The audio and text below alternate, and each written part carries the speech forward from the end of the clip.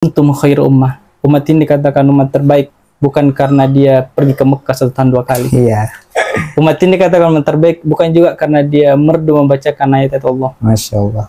Umat ini juga dikatakan umat terbaik bukan karena dia lantang menyampaikan ceramah-ceramah agama Allah. Iya. Tapi umat ini dikatakan umat terbaik tak muru nabil ma'ruf. Dia sanggup mengajak orang berbuat baik, wa tanhauna 'anil munkar. Dia sanggup mencegah kemungkaran. Masya Allah. Allahu a'lam.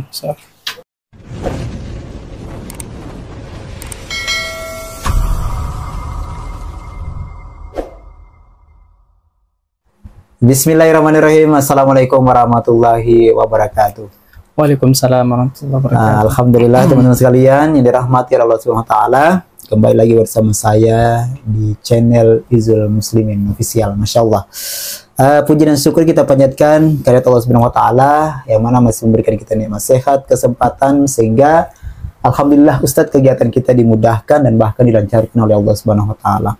Tentu tak luput kita senantiasa eh, berselawat kepada uswah hasanah Nabi Allah Nabi Muhammad SAW. Teman-teman sekalian, pada kesempatan yang berbahagia ini, tentu di hari yang spesial, saya tidak sendiri. Saya ditemani dengan sahabat saya. Tentu beliau tidak lagi asing ya. Kita sapa beliau, Ustadz Baso Priansyah. Iya, Masya Allah. Masya Allah. Ustadz bisa diperkenalkan namanya dulu Ustadz. Bismillahirrahmanirrahim. Eh, teman-teman eh, pemirsa di mana pun berada yang insya Allah sama-sama dimuliakan oleh Allah Subhanahu Wa Taala. Eh, perkenalkan saya Basu Arfiansyah.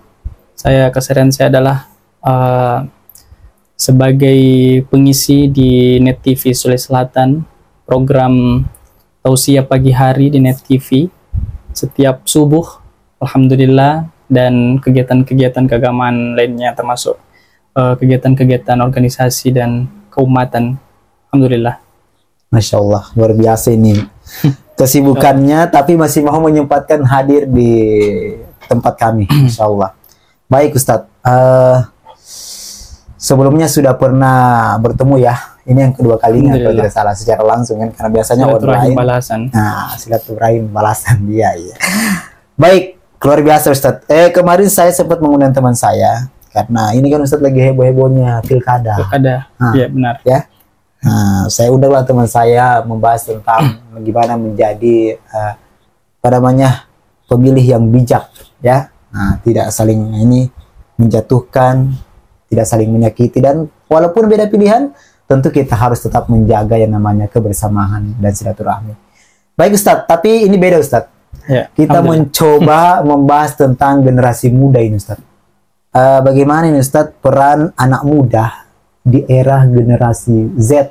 Nah, Generasi Z. Generasi Z. Waduh Ustadz.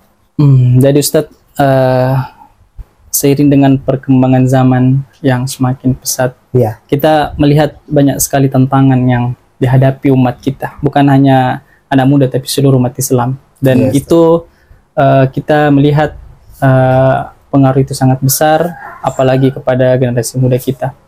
Jadi saya ingat satu makalah dari Rasulullah SAW, satu sabda, bukan tapi na- wasiat sebenarnya. Wasiat dari Rasulullah SAW dalam sebuah kitab Tanbihul Muktarin. Kata Rasulullah SAW bahwa perlakukanlah para pemuda itu dengan baik. Iya. Karena sesungguhnya mereka itu tulus. Dan dia mudah disentuh perasaannya. Karena sesungguhnya Allah mengutusku, kata Rasulullah, dengan ketulusan dan kemudahan. Maka lihatlah mereka yang mau berkumpul eh, denganku, kata Rasulullah, bahwa mereka adalah para pemuda, sementara orang-orang tua itu menentangku. Jadi pemuda itu akan mudah disentuh hatinya. Seorang pemuda yang baik itu pasti akan disentuh hatinya untuk Harus Diajak. dirangkul dia ya. jadi anak muda itu jiwanya itu jiwa pemberontak. Kalau kita Aisyah baik, Iya, iya. dia akan baik. Tapi kalau kita ajak jelek, dia akan jelek. Makanya kata Nabi, eh, anak muda itu eh, satu kelompok yang mudah disentuh. Kalau kita arahkan kepada kebaikan, dia akan baik. Dia akan mengikuti ya.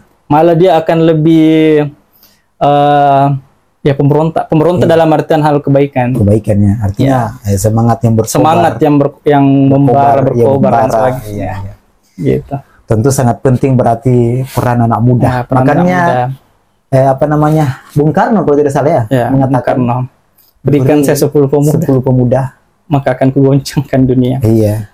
Begitupun juga sebenarnya dalam peradaban Islam, dalam sejarah peradaban Islam itu kita uh, setidaknya ada tiga generasi yang bisa kita ambil uh, pelajaran. Iya. Yang pertama itu generasi sahabat, yang kedua ada generasi Salahuddin Al-Ayyubi, Iya. kemudian ada generasi Muhammad Al-Fatih. Dan sebenarnya bukan hanya tiga ini, di luar itu semua masih ba- banyak nama-nama yang uh, apa yang bersinar dengan segala uh, kecemerlangannya. Iya. Nah, yang unik mereka semua punya keunggulannya masing-masing. Misalkan generasi generasi ini ketiga generasi ini mampu eh, mengukir sejarah emas dalam peradaban Islam. Mereka punya ketangguhan dan eh, apa dan jiwa yang eh, jiwa yang tegas, jiwa raga mereka tegas. Jadi generasi-generasi gemilang itu memang eh, lahir dari proses pendidikan. Misalkan eh, generasi sahabat. Generasi sahabat ini dididik langsung oleh guru terbaik yaitu Rasulullah Muhammad SAW. Iya. Nah, ya, dan rumusan pendidikannya pun eh, digambarkan oleh Khalifah Umar bin Khattab. Kata Umar, ta'addabu thumma ta'allamu. Beradablah kalian, kemudian berilmu. Berilmu. Jadi inti pendidikan di sini adalah eh, penanaman adab, akhlak mulia. Nah, itu yang eh, digambarkan oleh eh, Umar bin Khattab. Jadi inti pendidikan itu bukan pengajaran, tapi bagaimana kita menanamkan nilai-nilai kebaikan dan keadilan. Dan itu adalah konsep yang eh, sangat luar biasa. Nah, begitu Ustaz. Baik Ustadz, Masya Allah. Eh, pertanyaan selanjutnya nih Ustadz. Eh, apa kira-kira Ustadz efeknya ini Ustadz? Kalau generasi muda itu sudah jauh dari yang namanya nilai-nilai agama. Kalau mereka jauh dari nilai agama, Dia tidak mau lagi memperhatikan bagaimana eh, keadaan umat, ya. Bagaimana memperbaiki ke depannya. Nah, kalau anak muda jauh dari agama, maka kita akan melihat eh, generasi-generasi kita di masa yang akan datang itu akan kehilangan arah. Sebagaimana yang selalu disampaikan dalam kajian kita kan, Iya, iya. Syubanul Yom Rijal. Jarun God. Nah, pemuda hari ini adalah Adalah pemuda di pemimpin. masa yang akan datang, pemimpin Iya, di masa yang akan datang. Kalau pemuda hari ini rusak, maka rusak bangsa yang akan datang. Sudah bisa dipastikan. Saya pasti pastikan. Tapi kalau pemuda hari ini baik, insya Allah pemuda di masa yang akan datang juga akan baik. Nah itu. Jadi eh, di sini kenapa kita harus eh, memperhatikan anak muda? Lagi-lagi kita harus mengingat wasiat Nabi bahwa eh, kita harus mengarahkan anak muda. Kalau kita arahkan kepada kebaikan, insya Allah dia akan baik. Karena sebenarnya anak muda itu adalah eh, kelompok yang tulus dan mudah disentuh perasaannya. Nah seperti itu. Kelompok yang tulus dan mudah diarahkan. Mudah disentuh ya, mudah diarahkan. Iya, mudah disentuh ya. Mudah disentuh. Masya Allah. Begitu. Jadi itu efeknya Ustaz kalau Ya. generasi muda jauh dari Al-Quran, Ya. jauh dari nilai-nilai agama. udah nilai agama.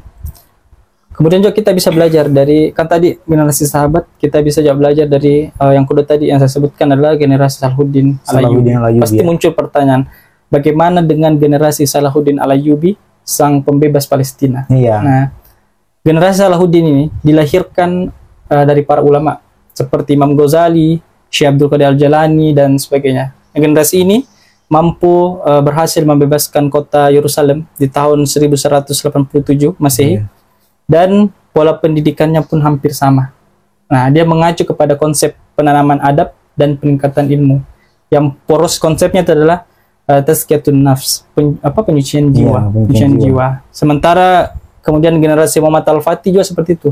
Dilahirkan oleh guru-guru hebat pula seperti Syekh Al- Al- Al-Qurani dan Aksamsuddin. Pola pendidikannya pun juga sama, penanaman adat dan peningkatan ilmu.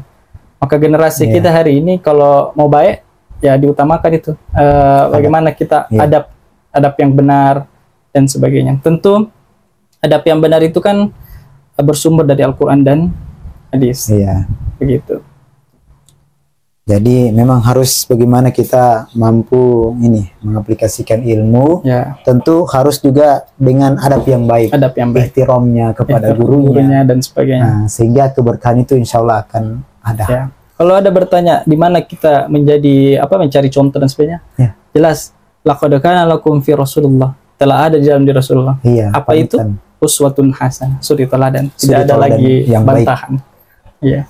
Jadi sudah jelas memang bahwa Ya. panutan yang terbaik wa mabistu li utamima makarimal akhlak.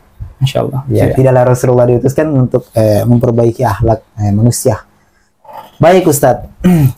Selanjutnya ini Ustadz, apa kira-kira Ustadz dampaknya ketika generasi muda itu eh, mereka senantiasa hadir untuk memperjuangkan agama Allah, membela agama Allah dan mensyiarkan agama Islam dengan potensi dan skill yang mereka miliki Ustaz. Apa dampaknya Iya. ketika anak muda Nah, dekat ada dengan agama? perhatiannya kepada umat bagaimana generasi ke depannya itu ada perhatiannya yang sangat luar biasa. Ya. Jadi sebenarnya dalam Islam itu eh, kembali lagi kita harus selalu tentang pendidikan Iya. karena ini merupakan proses panjang yang eh, tujuan akhirnya adalah mengantarkan generasi muda kita itu eh, mendapatkan kebahagiaan akhirat tanpa meninggalkan kebahagiaan dunia sebenarnya. Iya, iya, iya. Seperti slogan yang sering kita dengar bahwa dunia di, genggam, di genggamanmu, Hmm. akhirat di hatimu. Iya, iya. Nah, itu yang harus kita lakukan. Yang mana bermaksud dalam ajaran Islam ini bagaimana kita eh, menghendaki yang namanya pendidikan yang melahirkan generasi-generasi yang unggul, baik intelektual, pengetahuan, wawasan, keilmuan dan eh, bagaimana mereka banyak berbuat amal kebaikan. Nah, Ini dapat kita lihat juga sering kali eh, bagaimana para guru kita itu mengajarkan kepada anak-anak didiknya tentang kerja keras, keberanian, kejujuran, dan jahatnya bersifat zolim, curang, dan sebagainya. Karena kan kalau kita di Indonesia kan, eh, apalagi kayak masalah politik dan sebagainya kan, Iya. sudah menjadi hal biasa orang berbuat curang. Dan bahkan di depan mata pun eh, tidak ada rasa takut kepada Allah Subhanahu Wa Taala Iya. mereka melakukan itu dan sebagainya. Dan itu karena eh, kurangnya pendidikan adab gitu sebenarnya. Sehingga eh, apa yang telah ini aturan-aturan Ya, selalu dilanggar. selalu dilanggar Mm-mm. karena kurang karena itu lagi kurangnya kurangnya eh, Kurangnya adab dan pendidikan ya. maka yang harus kita sampaikan kepada anak muda adalah kuatkan tekad kuatkan keyakinan Hmm. Kemudian singkap semua tabir yang menghalangi dalam kita untuk apa menggapai masa depan kita. Karena pemuda jelas bisa menebarkan manfaat di dunia ini tapi pemuda juga kita sering kali em, mereka dirundung dengan keraguan-raguan sering kita kalau kita ngisi kajian kan banyak pertanyaan eh, jangankan eh, apa jangankan over confidence bahkan mereka bertanya-tanya. Mereka juga tidak punya percaya diri. Iya. Nah, maka dia mereka bertanya, maka muncul pertanyaan, eh, dari mana saya memulai? Bisakah saya? Iya, iya, iya. Bagaimana caranya?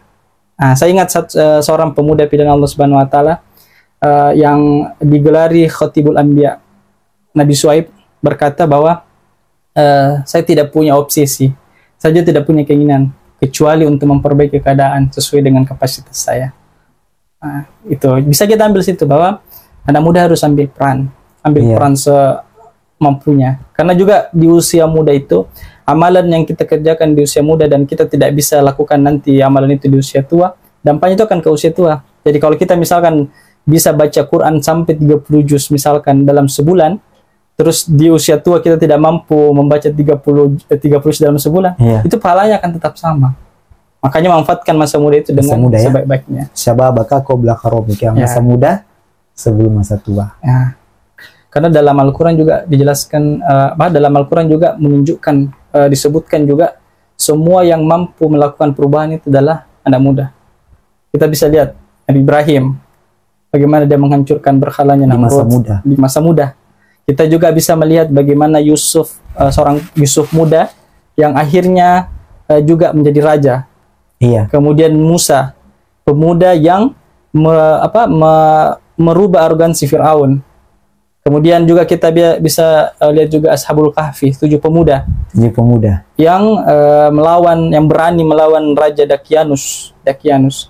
Nah tentu ini eh, pemuda ini kan pasti melek dengan penguasaan lapangan inovasi dan punya gagasan dan ide untuk eh, di masa yang akan datang. Makanya selalu ada bilang eh, pemuda itu bukan eh, menawarkan pengalaman. Iya. justru pemuda itu menawarkan masa depan untuk umat dan bangsa Bangsa ke depan. kan jangan pernah tanya anak muda apa pengalaman Iya. ah, tanyakan kepada apa yang bisa kau buat Biasa kadang sebagian orang tua mereka ragu kalau Ya. anak muda yang pimpin katanya Ya. kurang pengalaman. Orang pengalaman gitu Ya, Padahal mereka berpikir tentang bagaimana eh, menata masa depan yang lebih baik ke depannya. ya Apalagi ya anak muda kan estafetnya sangat luar biasa. Jiwa yang jiwa membara. membara Orang bilang kan. Dan bahkan Ustaz, eh, saking istimewanya anak muda, mereka mendapatkan syafaat. Ya. Yang malah zillah ila zillu. salah Sahabat satu dari iya. golongan salah satu golongan yang akan mendapatkan syafaat di hari kiamat. di hari kiamat yang pada hari itu tidak lagi naungan kecuali dengan Allah. Syabun nasya fi ibadatillah. Anak muda yang tumbuh beribadah kepada Allah. Nah, Ini baru anak muda yang keren. Jadi itu tadi Ustaz ya, Ya. bahwa banyak sekali pelajaran yang kita bisa ambil, Ya. banyak juga panutan yang kita bisa ikuti. Ya, semoga ini menjadi pelajaran penting bagi anak-anak muda di luar sana. Biasa Ustaz kalau kita bawa kajian, Ya. ya tentu ini akan menjadi sorotan karena anak muda yang banyak Anak muda hadir. yang banyak. Ya. Betul. Iya. Jadi sangat disayangkan ketika ada beberapa teman yang punya kapasitas ilmu tapi dia tidak mau berdakwah. Bagaimana itu Ya. Ustaz? Kalau berkaitan dengan dakwah, saya ingat satu pepatah Arab. Iya. Nahnu duat qabla kulli syai. Dan itu selalu sampaikan di setiap kajian. Masya Allah. Nahnu duat qabla kulli. Kamu adalah dai sebelum menjadi apa-apa. Seolah-olah eh, pepatah Arab ini mengatakan kepada kita, siapa pun kita, bahkan seorang pendosa sekalipun, kalau masih ada iman di dalam hati, walaupun sekecil saja, maka wajib hukumnya dia untuk eh, mengajak orang untuk berbuat baik. Baik. Iya. Ya, seperti itu. Ustaz. Baik Ustaz, biasanya seperti ini Ustaz. Ada sebagian teman-teman mengatakan, katanya saya belum baik. Ya. Saya belum pantas untuk menyampaikan dakwah ini. Ya. Itu bagaimana kira-kira tanggapan dari seorang Ustadz Bahasa ini? Kalau kita menunggu diri kita baik, Hmm. maka tidak akan ada yang berdakwah. Karena semua daripada kita pasti pernah melakukan kesalahan, pernah melakukan dosa dan sebagainya. Karena pasti kalau kita mau merenungi apa yang kita lakukan, eh pasti kita punya dosa. Kalau kita menganggap seperti itu, maka agama ini tidak akan ada yang siarkan apalagi di zaman Iya. sekarang. Karena kan beda halnya dengan di zamannya Nabi. Memang eh, ya sudah tidak diragukan kesolehan Iya. para sahabat dan sebagainya. Kita dengan tantangan yang sangat besar dan sebagainya. Gitu. Nah, makanya juga pernah saya ditanya, mana iman yang kuat? Imannya malaikat atau imannya manusia? Hmm. Iman malaikat jelas. Oh, dia iya, iya. dia menyaksikan Allah, dia lihat surga dan neraka. Kita Oh artinya iman Ya. yang kuat Ya. dian kan? ya, Ketika diuji dengan Ketika diuji. macam. sedangkan kita eh, iman kita kita tidak pernah lihat surga, kita tidak lihat neraka, kita tidak pernah Iya, ketemu iya. dengan Allah, Iya, tapi iya. kita percaya dengan Allah. Nah, seperti itu. luar biasa. Baik Ustadz, sebagai eh, closing statement mungkin disampaikan kepada anak-anak muda yang ada di luar sana eh, sebagai motivasi. Pada Ustadz. Ya. Kembali kami sampaikan kepada teman-teman di luar sana. Syubanul Yom Bijalul God. Pemuda hari ini adalah pemimpin di masa yang akan datang. Kalau pemuda hari ini rusak, maka rusaklah bangsa kita juga dia masa yang akan datang. Tapi kalau uh, pemuda kita baik, insya Allah pemuda kita juga akan baik di masa yang akan datang. Kemudian untuk teman-teman berkaitan dengan uh, sekarang kan fenomena hijrah sangat luar biasa, tantangannya juga sangat luar biasa dan uh, itu juga sering kali kita dapatkan uh, apa saling menyalahkan dan sebagainya. Mari kita berlapang dada, saling merangkul dan sebagainya supaya uh, agama ini bisa terus menunjukkan jati dirinya sebagai umat terbaik. Kuntum khair ummah. Umat ini dikatakan umat terbaik bukan karena dia pergi ke Mekah satu tahun dua kali. Iya, Umat ini dikatakan umat terbaik bukan juga karena dia merdu membacakan ayat Allah. masya Allah.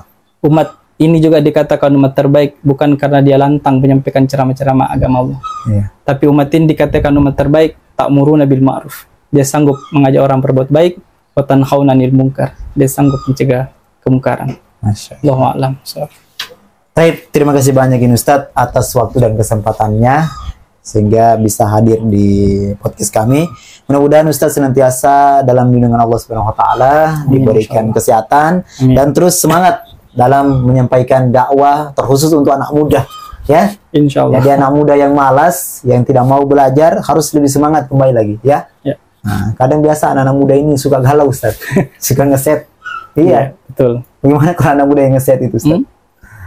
Nah, Itu problem sebenarnya. Di setiap kajian ya rata-rata itu makanya mendekati mereka itu harus dengan cara-cara yang eh, tema-tema seperti itu. nah, Karena kadang orang bilang gini, kenapa harus tema itu? Saya juga sebenarnya tidak mau tema itu. Iya. Cuman eh, cara mendekati mereka memang harus tema itu. iya iya iya. Gitu. Karena kan kita dulu mengutamakan namanya kebiasaan.